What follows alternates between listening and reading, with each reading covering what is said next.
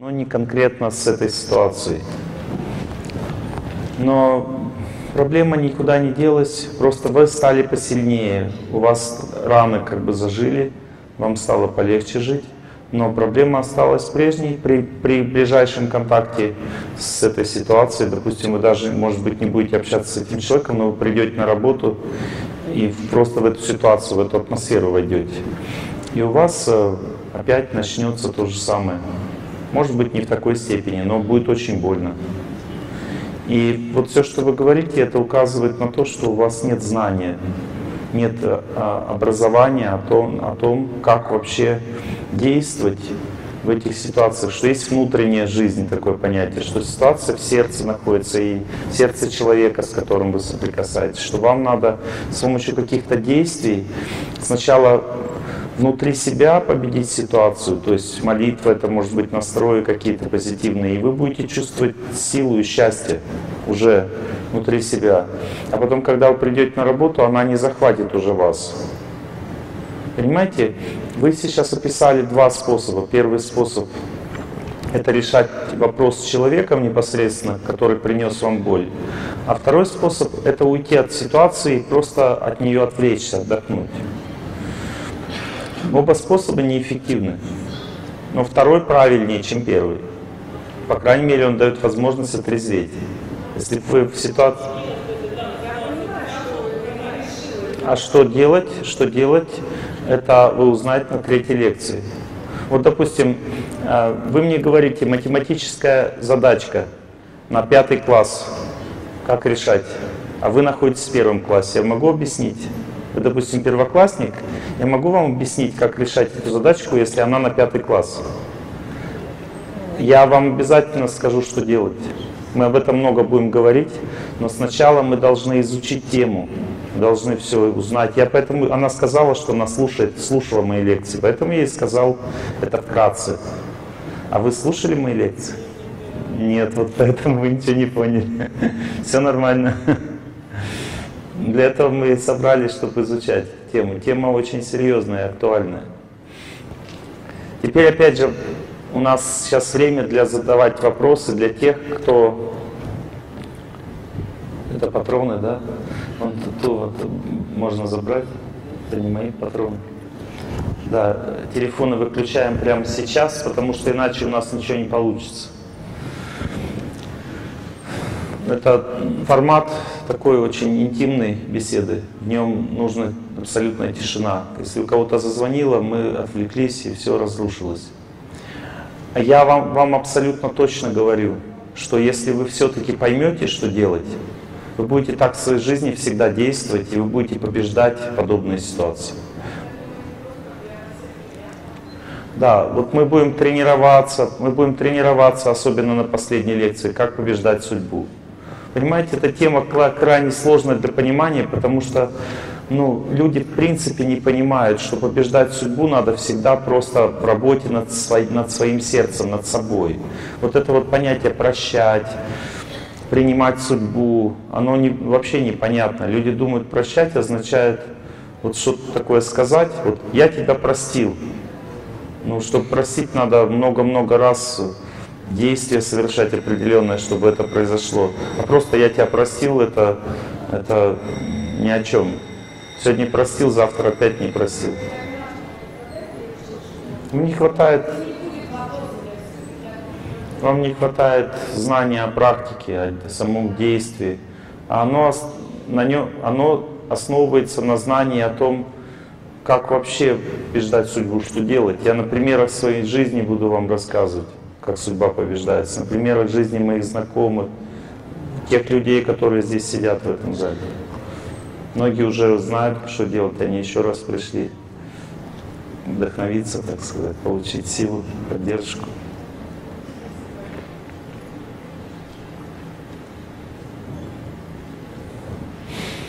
Вопросы по теме от тех, кто уже слушал мои лекции. Важно у нас осталось всего 5 минут до начала. Можно еще задать один вопрос, и потом мы начнем уже беседовать. Наверное, чуть попозже начнем, потому что люди собираются. И на первую лекцию обычно долго собираются. Микрофончик есть. Ждем ваши вопросы. Не стесняйтесь. Да, вы слушали мои лекции? Да, вот девушки вон туда, пожалуйста.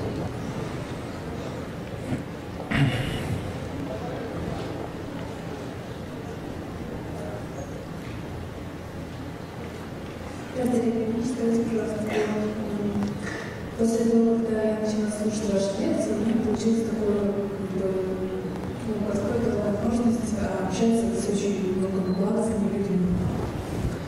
Вот, общение началось уже где-то более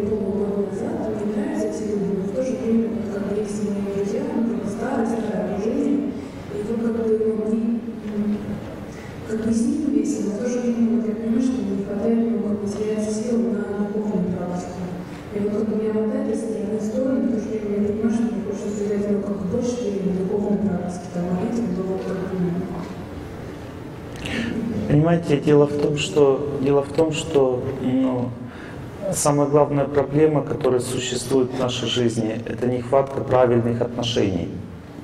Именно эта нехватка, она приводит к серьезным трудностям в жизни. В основном люди дружат для того, чтобы развлекаться вместе. Есть три типа дружбы.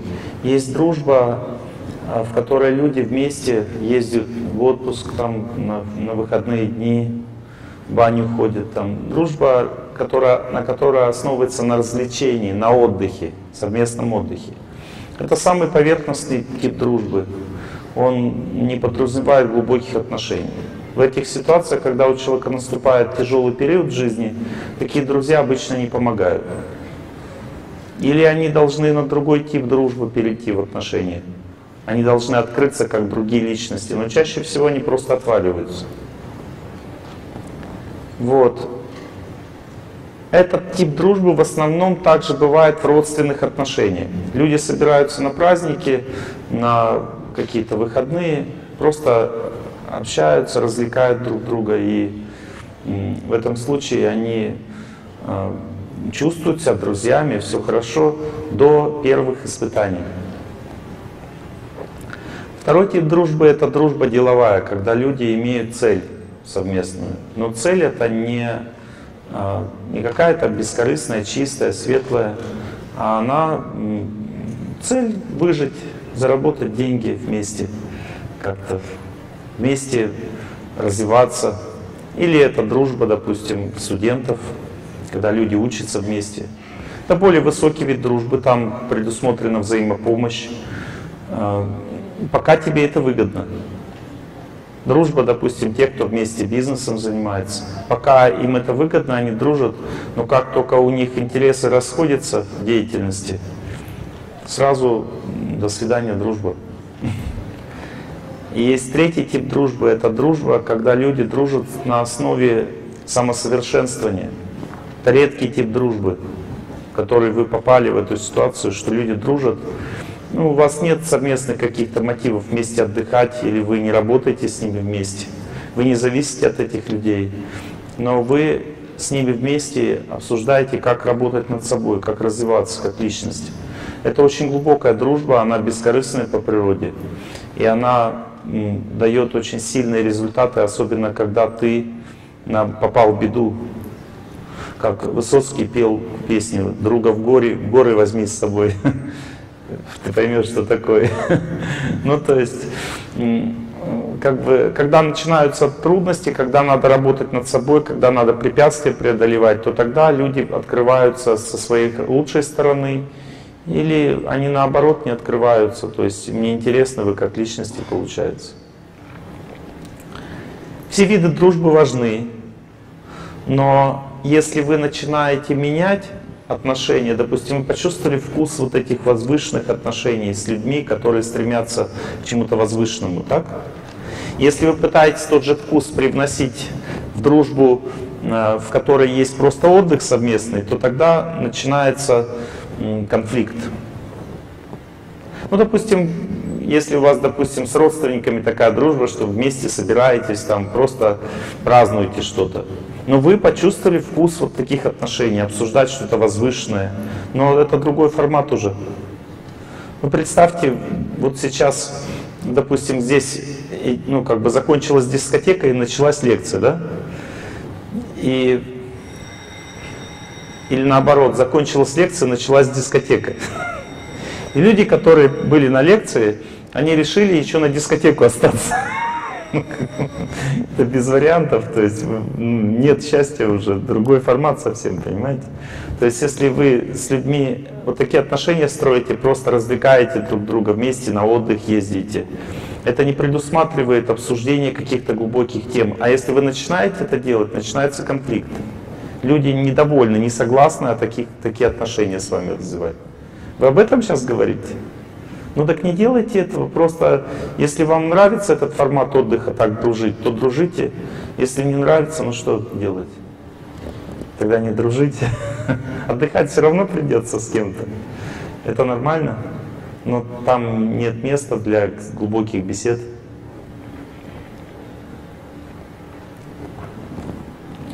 У нас сейчас ответы на вопросы просто идут. Итак, мне больше нравится знакомиться с людьми. Вот это официальное. Олег Геннадьевич Тарсунов. Это обязательно будет. Сейчас кто-нибудь меня представит. Но это не помогает никому. То есть лучше просто беседовать, общаться. Наша цель же что-то узнать. Да? Олег Геннадьевич, здравствуйте. Да. Я очень Я очень благодарен вам за вашу деятельность. Именно вы вдохновили меня на путь саморазвития. Может быть, не так много меня прославляете. Это... Хорошо. Я хотел, э, у меня пока нет вопросов, я хотел бы поделиться своим э, опытом. Бог наградил меня очень хорошей памятью, и я помню себя с трех лет. Супер. Прошу вас, это совсем не Ну, нормально. Классно. Мы жили на на улице Южной Украине, мне было три года, и у нас был ремонт. Я долго не мог уснуть, за окном был совершенно какой-то праздник. И я долго-долго смотрел на шторы. На шторах были всякие рюшечки, ремонтики и так далее. Я долго смотрел на них, и потихоньку они начали сползать вниз. Они сползали, выстраивались в очередь и подходили ко мне, и приносили мне дары, вот эти вот прищепочки, которые ну, чуть что висят, железные. И мне было так приятно, и я принял хотя они мне были, в принципе, не важны, но мне было очень важно само, само это действие. И смысл этого я понял лишь ближе к 30 годам. Все наши действия, молитвы, мы очень маленькие души, и когда мы стараемся Господу преподнести, посвятить плоды своей деятельности, для Него это очень важно. Как вы думаете, всем понятно то, что вы сейчас говорите? Я не знаю, я очень волнуюсь. А вот а я знаю точно, что почти никому не понятно. Поэтому лучше всего сейчас не продолжать вам эту беседу, потому что все, что делается в этой жизни, должно быть делаться на благо других. Какое благо в том, что людям непонятно, о чем вы говорите. Я хотел поделиться. Но это важно делиться так, чтобы все получили благо. Простите, мне не хватает опыта для этого. Хорошо. Я вас ни в чем не обвиняю, я вам объясняю, как правильно. Спасибо. Спасибо вам. Лучше задавать вопрос сейчас, если есть. Вот вопрос дальше. Простите, что прерываю. Дорогие друзья, я хотела бы представить вам нашего сегодняшнего гостя. Олег Геннадьевич Турсунов, он кандидат медицинских наук, более 20 лет читает лекции по психологии, здоровью, взаимоотношениям. Также автор уникальных методик по здоровью. И сегодня он нам приехал в наш город замечательным семинаром касательно каждого человека и называется «Преодоление стресса». Рада приветствовать. А вот объявление дела Дина, она, у нас есть клубы благости, их более 300, насколько я знаю, по всему миру. И она их координирует через э, интернет. Вот. Я ей очень признателен, низко кланяюсь за ее деятельность. Хоть она уже устала этим заниматься, мы, я думаю, как бы заменим и там дадим ей возможность отдыхать от этой деятельности. Она потому что еще транскрибирует мои лекции, тоже еще это делает. Мне хватает работы и без клуба благости. Но так или иначе, как бы я хотел бы ее тоже благодарить, пользуясь случаем, за ее работу.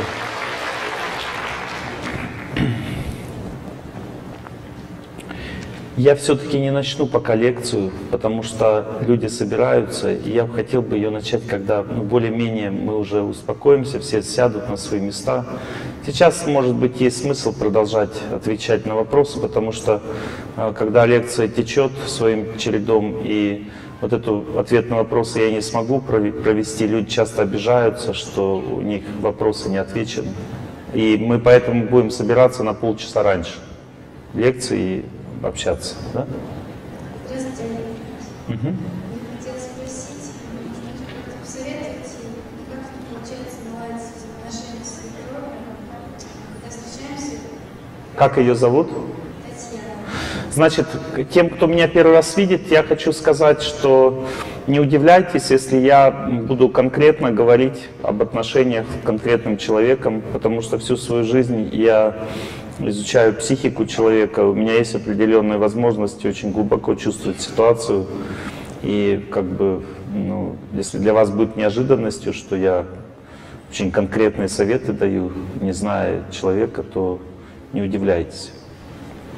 Мои методы лечения, они основаны на диагностике психики человека, которую я глубоко изучаю даже в медицине. И ну, у меня медицина тоже необычная. Это медицина тонкого тела или психического тела. Ну, то есть есть свои научные разработки в этой области. Это начало, вот, это большая работа в этой, в этой области предстоит, чтобы эта медицина стала тоже настоящей, серьезной. Вот. Это медицина с помощью лечения камнями, там, корней деревьев там, и так далее. У нас выходит в свет первая статья научная в официальных научных журналах. И первая кандидатская диссертация пишется по кристаллотерапии, по лечению камнями в мире. Ну, то есть настолько эта работа такая пока еще революционная, будем так говорить. Но эти же возможности э, работать именно с психикой человека я использую для того, чтобы решать вопросы, связанные с судьбой, Поэтому вот сейчас мы продолжаем уже ответ на вопрос. А, у нас вопрос отношения с свекровью. Еще раз, как ее зовут? Ее зовут Татьяна. Где вы, я вас потерял? Ага. Не, не надо. Она обидчивая? Она а Она обидчивая, чувствительная такая, да? и все время очень серьезные конфликты после нас с кем ездим периодически. Гости, люди. Она сына любит сильно, да? И сына любит, и э, ей не хватает общения с ним, да? Она меньше общается, чем раньше. А он маму любит, ваш муж?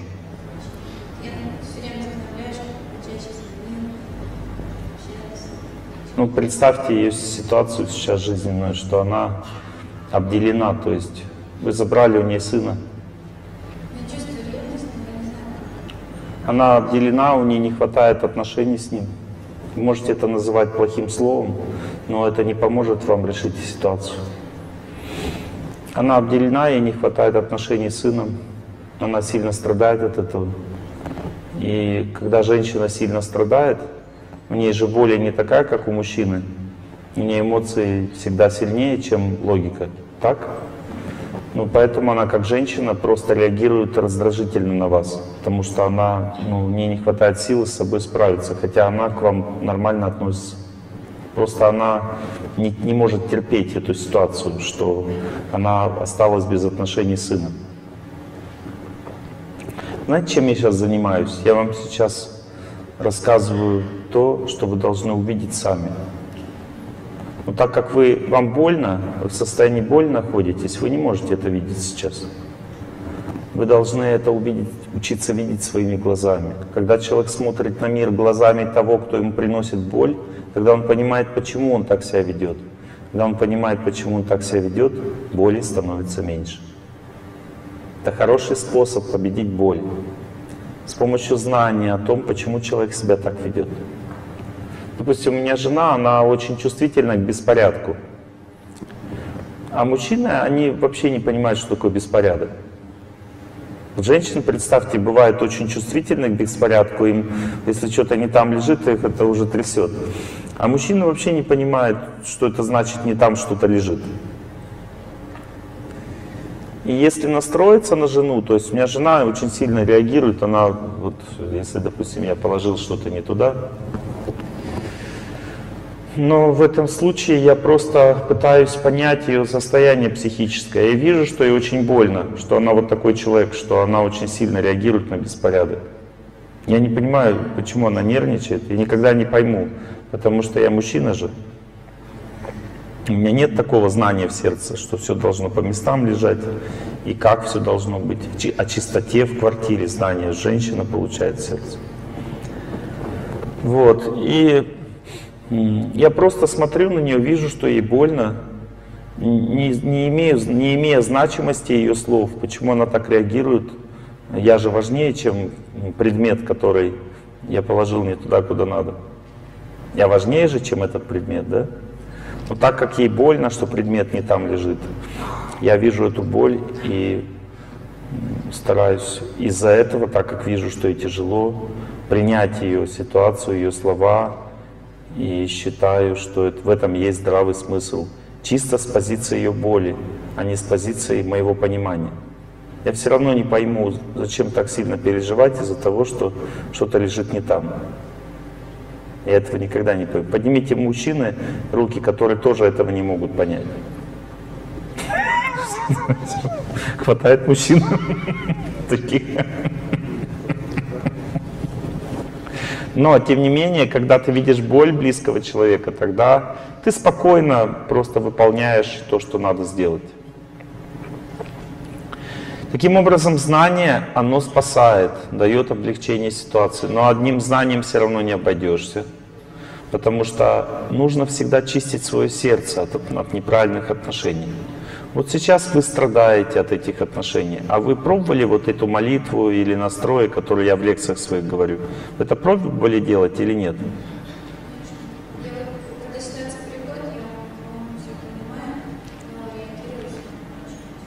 Это значит, что вы не до конца очищаете ситуацию.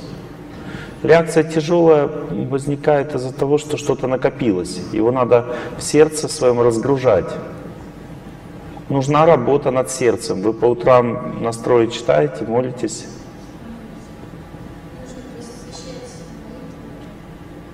Больше сил вкладывать туда. И когда вы это будете делать правильно, то между вашей свекровью и вами в сердцах установится чистая связь такая, чистое отношение. И внешняя ситуация, она не будет ее раздражать так сильно. Вы будете ее лучше понимать, будете заботиться о ней, она успокоится в результате.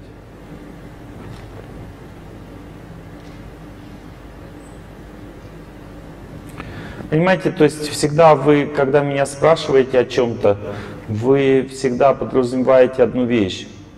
Олег Геннадьевич, что ей сказать, как повести себя по отношению к ней, чтобы она меня не мучила. Так? Но это неправильный подход. Потому что как, это все равно, что как наступить на острый предмет, чтобы не было больно. Да никак не наступишь, если это предмет острый, всегда будет больно, как не наступай. Есть искусство ходить по гвоздям, там, ну понимаете, но это все равно не, не тот подход. Правильный подход это сделать так, чтобы предмет не был острым. Надо убрать остроту.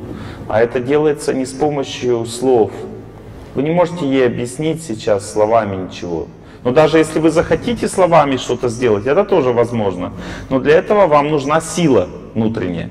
Вот попробуйте, представьте себе, вы сейчас к ней подходите, между вами такая ситуация, и как вам надо себя вести с ней, как разговаривать, чтобы она среагировала на вас хорошо. Представляете, сколько у вас душевной силы внутри должно быть, чтобы так себя вести? Откуда вы ее возьмете, эту душевную силу? Опять же, вы ее берете из внутренней работы. И с этого вся жизнь человека начинается и этим заканчивается. И вся проблема нашей жизни заключается в том, что внешняя работа или внешняя деятельность, она забирает все время и силы, и мы верим только в это в своей жизни. Мы не знаем, что такое внутренняя работа, из-за этого мы страдаем. Хоть вы и слушали лекции, видите, все равно вы не уделяете этому достаточно сил и времени, чтобы в вашем сердце чувствовалась победа. Вот вчера было воскресенье, и у меня все сотрудники медицинского центра, мы все собираемся вместе, человек 50, наверное. Ну, не все там, кто-то некогда, кому кто-то занят. Ну, человек 50 вчера мы собрались, и все вместе почитали настрои. Два часа. Кто-то замуж не, вы, не может выйти, кто-то не может еще что-то, у кого-то, у каждого свои проблемы. Через два часа мы все вместе это делали. У нас проблемы кончились. Они кончились в сердце, понимаете? Все, стало хорошо. Представьте девушка, которая чувствует, что у нее все хорошо, что она выйдет замуж точно. Она страдает от одиночества, и вдруг она чувствует, что все будет хорошо. Что с ней происходит дальше? Румянец появляется на лице, улыбка. Она смотрит на парней, как бы она сильнее их психически. Она знает, что они все на колени попадают перед ней. Никаких шансов у них нет. Она победила уже ситуацию в сердце, и она становится красивой, сильной. Так человек побеждает свою судьбу с помощью внутренней работы, внутренней жизни. Даже вот город Волгоград – это город, который очень связан с этой героической судьбой нашего народа прошлой. Если взять вот эту героическую судьбу и посмотреть, чем люди занимались, почему они героями-то стали – а у них, вот смотрите, как бы все было вокруг этого соткано жизни. Люди верили э, в то, что так, вот, их как бы понимание вещей, оно приведет их к светлому будущему. Песни об этом были, памятники. Люди как бы ну, занимались внутренней жизнью. Понимаете, то есть у них жизнь была соткана из веры,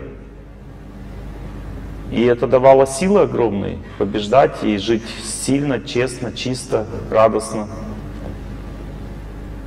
Сейчас у нас нет никакой веры.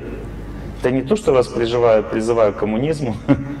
Я просто говорю о том, что если человек живет просто хаотично, думая, что работа это главное в жизни или там квартира, на которой он работает, то результата никакого не будет не будет внутренней целостности, не будет э, той силы, которая дает возможность побеждать. Ну, вот давайте, давайте я сейчас немножко вас вот в то пространство окуну.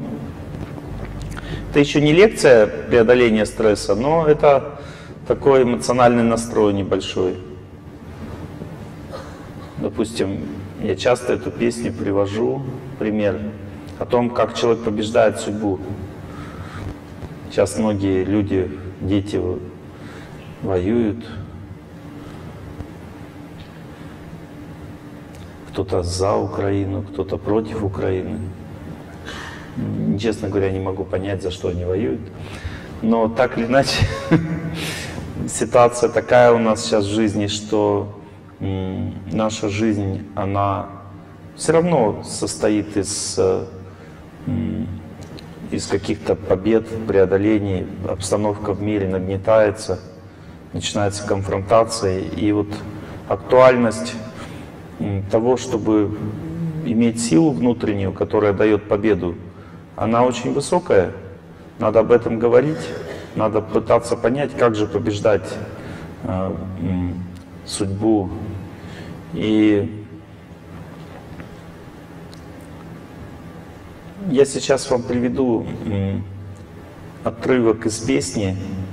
Ну, я его много раз уже приводил в лекциях, но я думаю, лишний раз не помешает.